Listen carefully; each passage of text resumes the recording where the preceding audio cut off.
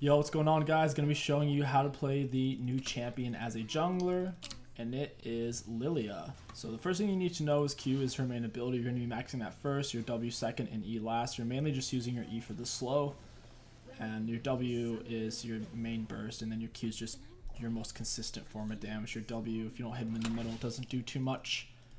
And yeah, she's quite a bit of fun to play. She's almost like an Aurelion Sol Jungle in terms of her movement speed you build up constant movement speed stacks up to five whenever you hit uh, any kind of enemy, monster, minion, or champion with an ability. So you start zooming around. You're basically an anime Hecarim. So we're gonna go ahead and reset. Got our ward down, gonna go get Oracle Lens. For our runes, we have Dark Harvest, Cheap Shot, Eyeball, Ravenous with free boots, and Cosmic Insight. There's a lot of different stuff you can take for your secondary page. Seems like Sorcery, Tree, Celerity, Nimbus is solid really good choice. In this case, I wanted the free boots. I just felt like it'd be a lot safer. Unfortunately, your W is doesn't apply sudden impact, so that is unfortunate. That is why we went for cheap shots, so we could use our E, blue smite, or our R. So you're gonna start out with an auto attack, pull back, hit it with a tipper Q. If you're not hitting it with the outer part of your Q, it doesn't do true damage. So just make sure you're pulling back after your auto attack to hit it should be moving significantly faster than it, so that shouldn't be too difficult. You can kite it out with your autos, just like so. We're to go ahead and go to golems. We're going to W right about there. The big one should never really hit you in this. You can auto it over the little medium one. The big one does a lot of damage if you're to want to do the golems just like I'm showing. If you just stand there and tank them like a monkey, you're to regret it, trust me. Because you'll lose all your HP. I, I've done it. I've been there. I'm trying to save you guys that trouble. Auto attack Q, you want to try to make sure the majority of monsters can't hit you. Your auto attacks are like thresh autos. And your Q has a lot more range than your autos even have. So just try to take advantage of your slight ranged attacks. That way you can uh, take minimal damage zoom over here. Auto attack, put our E in. Your E is AoE slow. I will say I wouldn't recommend this champion against something like Graves. Range champions, Graves at least could give you a lot of issues. Things that uh, you can't kite. You rely on kiting monsters on this champ. I'm gonna go ahead and not do the Gromp here. Just gonna try to heal off of it a little bit. I'm looking to do a gank, but doesn't look like I have anything to gank. I'm gonna go ahead and just do a 5 camp clear and a scuttle crab. You can do a 6 camp clear, but you'll, you'll lose a lot more HP. Normally before you use your W, you want to slow the target first, either with your with your E or a blue smite. Your W is fairly slow, it's a bit of a charge up. A Donkey Kong punch, you're gonna need time to land it. Alright, let's go get this guy. We have our passive Q movement speed stacks on, moving pretty quick. We're gonna W, it went through. We're gonna hit him with an E. Get our Dark Harvest stack. And he's out of here. Gonna help her AoE clear, maybe shove it into turret. Now, even if you're playing a low elo, as long as you're not specifically trying to steal the last hits, the person probably won't freak out. So there I try to let her have the last hits and she didn't even ping me. I was taking all the last hits, as you can imagine, she probably would have uh, would have turned off her computer there. So yeah, we're, getting some Dark Harvest stacks and starting to scale. On your first back, I think it's best to pick up a Dark Seal, and then I normally like to go for Blue Smite. Dark Seal stacks are really important on her. If you can manage to get a Mejai's or just leave it on Dark Seal, it's really, really nice. Her scaling is pretty strong, kind of like an Ekko. If you're not ahead early game, just go ahead and rush straight into your jungle items, especially if you have free boots. If you didn't go for free boots, you can pick up boots of speed and part of your jungle item on your first back. We're gonna use our W once again. Make sure you use it to where the big golem isn't necessarily gonna cream you initially. And you can auto the big one over the original medium one. So there I messed up. I should have left the medium one there for a little bit longer.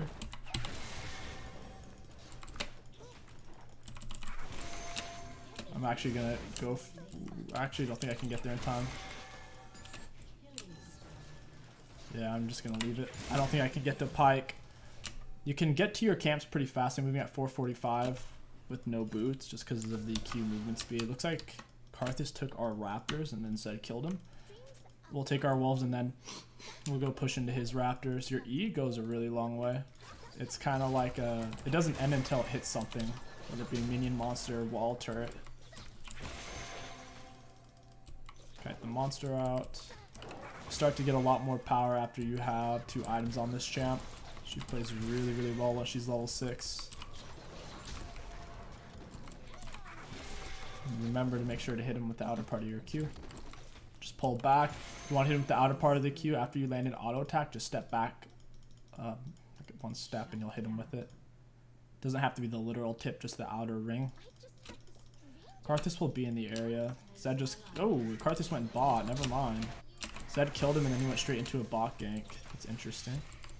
You don't really have to use your E when you're clearing your camps. You can clear them just as fast with your Q.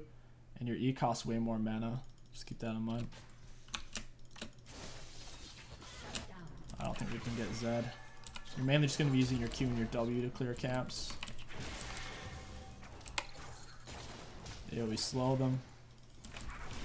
Hit him over the wall for the speed up. Moving super fast.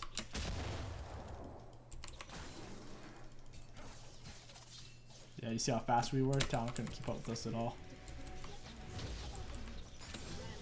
I have my R now. I'm gonna throw out my E. Oh, didn't land. Use my R.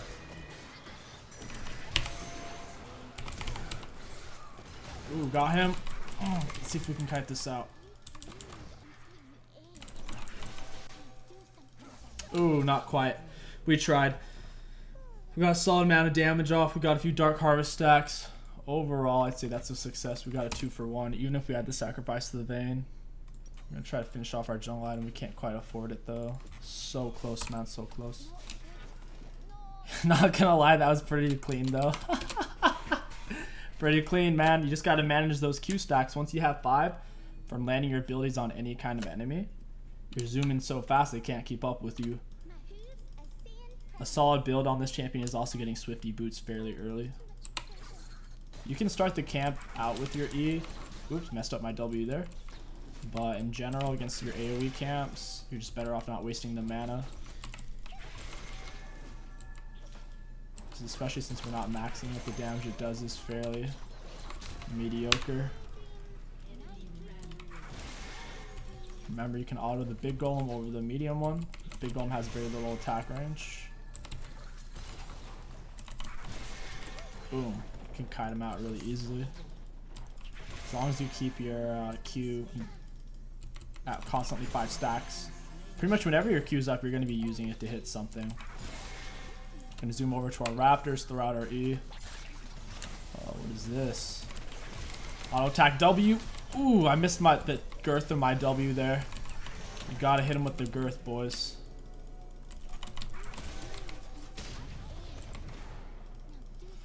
Yeah! There we go. Got him with the tip. Awesome. I messed up my W there. You want to try to hit them in the middle of it. So normally you want to hit them with your E slow or blue smite slow. I just completely misplaced my W. Not too shabby though. Lose all of our movement speed. Unfortunately, auto attacks don't refresh your Q movement speed, so now we're we just lost all of our movement speed stacks. We'll get them back really fast though. Since I'm trying to get my stacks back, I'll just go ahead and use all my abilities on it. Already back to four out of five stacks. Yeah, your auto range is so long on this champ.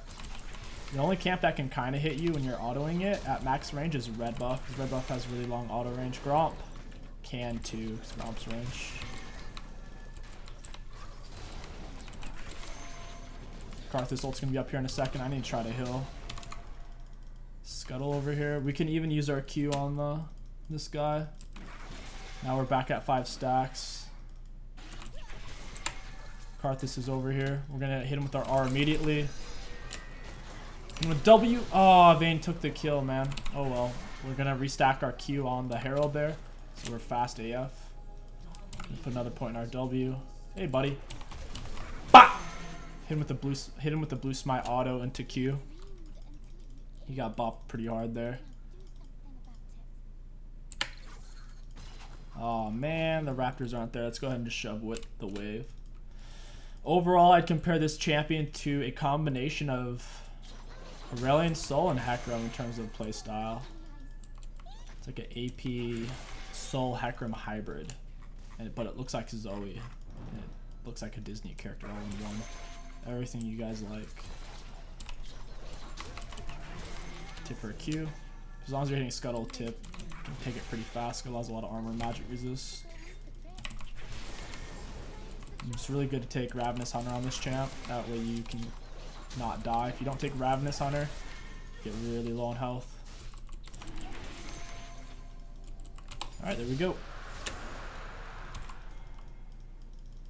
Da, da, da, da, da.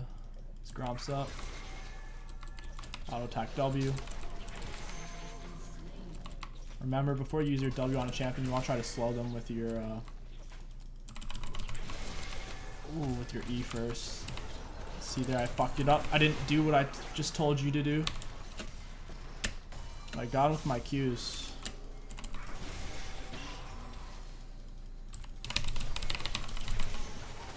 We're too fast. We're gonna R. Mm. Ooh. You guys like that? Whenever you wake them up out of your sleep, it does a bunch of damage. Oh man, Talon, he dashed on us and ignited. So whenever you hit anyone with any one of your abilities, so obviously not smite, obviously not your autos, but with a Q, W, or E, it marks them for you to use your R.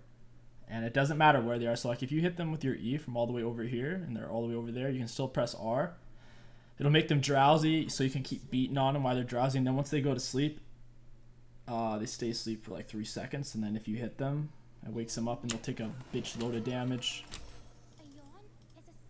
Dead Man's might actually be good here. They have a lot of physical damage. Yeah, I actually have triple AD. I'm thinking about doing it. Oh, Rylai's would be so good here, though. Yeah, we got we got to go Rylai's, and then we'll also go for. We'll go for tabbies. Like, I know they have the TF stun, but realistically, it's the Talon who's to keep killing me. So it doesn't really matter what boots you go on this champ. You're mainly playing her for the base damages anyways. The boots, you don't have to go Sorc Shoes. You're only to go Tabbies, Mercs, or Swifties. If you go Sorc Shoes, it's kind of greedy. I want to get over there and kill Jhin. Rushing Rylai's is going to help out your ganks. If you're just focused on damage, then going for Liandry's would be a little bit better. But Liandry's is a lot more expensive. It's uh, 500 more gold, so it's not as realistic.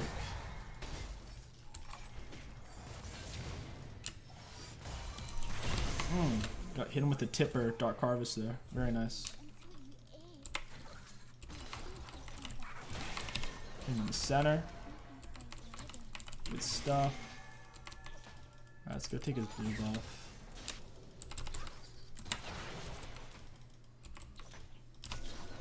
I wasted my W there. I need to be more patient on that. Talon's on his way. I'm gonna blue smite it I'm really fast.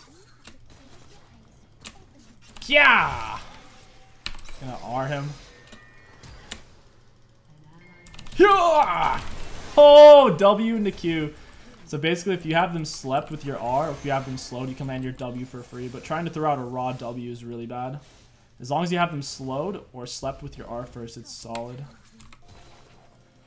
Because hitting them in center W is insane damage.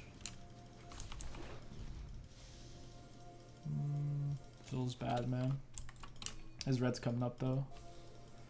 Got 10 Dark Seal stacks. We don't have to upgrade that. We can leave it here if we want. Of course, monsters can't dodge our W, so we can just smack them with it.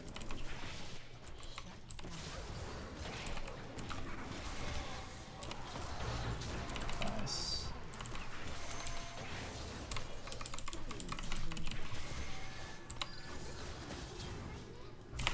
Mm. Oh man, I kind of outplayed myself there. I should have just flashed over the wall to get away. I really wanted to kill Talon though stay on with my Qs. Uh, what kind of damage I took? I actually took a lot of magic damage there. Uh, what do we want to get? So many item options on this champ. The main ones is just your AP jungle item, and then tier 2 boots, but then it's all pretty situational. Liandry's would be a good option. We can even get this and then build into Liandry's right here. Sucks that we lost 10 mesh stacks. I'm gonna go blue buff into dragon here. Should be pretty free. Oh, never mind. Vayne just died. It's gonna be hard now. I love how her ult is global, so even if they flash away or they do something weird, you don't have to aim it. After you have your passive, after you hit them with a spell, after you've applied your passive on them, which does damage every time you hit, hit someone with a spell, it doesn't stack. It's just the one. It's kind of like Teemo Poison.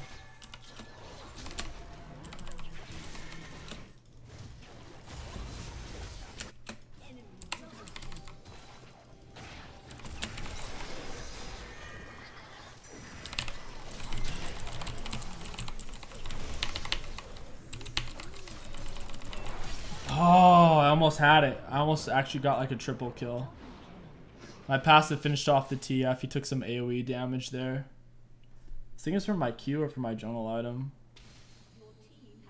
Lillia skill, so I must have hit him with an ability. That sucks. That was almost a huge pop off. Yeah, that was really, really close. If we just had a little bit more damage or a little bit more health, we would have destroyed them there. We could have waited on our R. We might have used it a bit early. Because all we hit was Jhin with our E when we threw it out. And that's only a one-man R. If I would have been more patient and hit several of them with a Q first, you can AoE R them. So that's way more damage and obviously way more CC. Might have been a bit premature on my part. Boom. What, Pat? I like how she just jumps around with her staff. It almost feels like that turtle from Kung Fu Panda. She's just swinging this goofy looking stick around. She's slowed! Oh, I missed it. I, I missed the timing up like a quarter of a second there. That was bad. Oh, man. Yeah, you can throw your E's over wall, by the way. Throw it over. Lob it like a grenade, pretty much. I don't know where this guy went.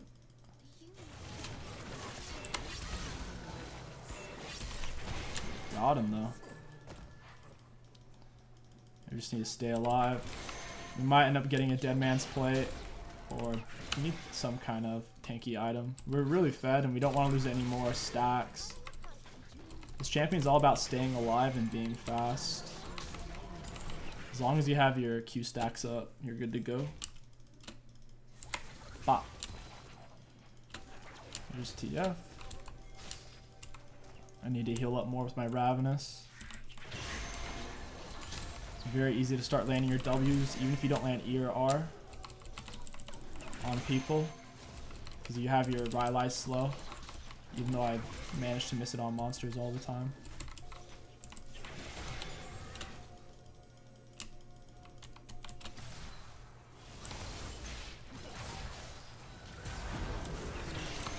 Oh, Blitzcrank, no. We got him. Nice. We're out of our Q stacks. You want to try to build up your Q stacks on some kind of enemy before you go into a fight. So look, I'm moving at 420. Check me out here in a second. Now I'm moving at 520 just off of three stacks. I've got 100 move speed just off of three Q stacks. It's insane. The problem is, is you run out of things to hit if you're not like attacking a minion wave or if you're not in a team fight. We think TF's gonna go. Let's build up our stacks.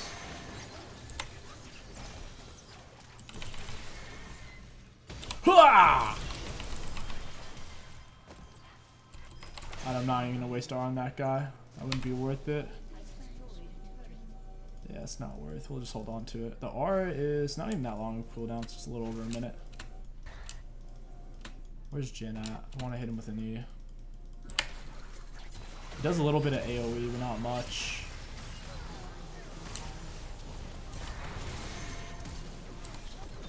Yeah, messed that up. Got him though. You can Q flash start up your Q animation, flash into him if you need to. I keep throwing out stray W's. They're so bad to throw out on their own. You really have to hit them with the heavy slow before you go in for that. Like that. Blitzcrank landed his CC. I'm going to hit him with R. Got him. I didn't even let my R go off first. When awaken, they take damage. Yeah, so it's just on the wake up part. Whether you wake them up by hitting them or if they just wake up because they've been asleep for a while. And they hit these guys to keep our passive up. We could even hit him with our E. If that would have landed, that would have res reset our 5 stack. That would have been really good.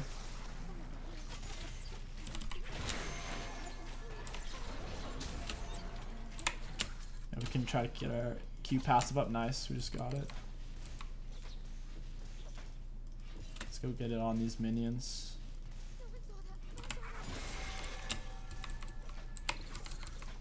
Let's get out of the turret range. The enemies, they stopped playing? I think they got uh, sad because we were killing them too much.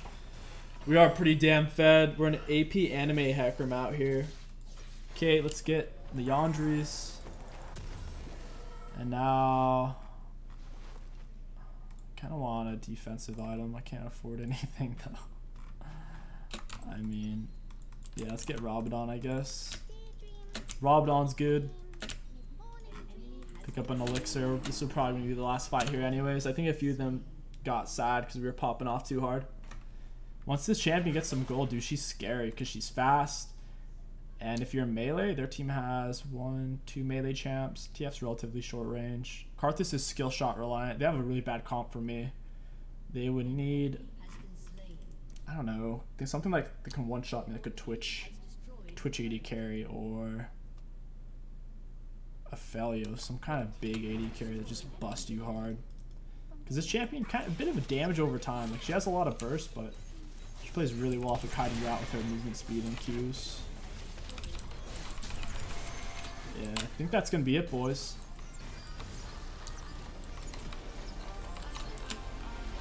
Regardless, though, I hope you guys enjoyed this guide for the new champion in the jungle. If you liked it, don't forget to like, comment, and subscribe. My name is KingStix. Thank you for watching, and I'll catch you guys next time.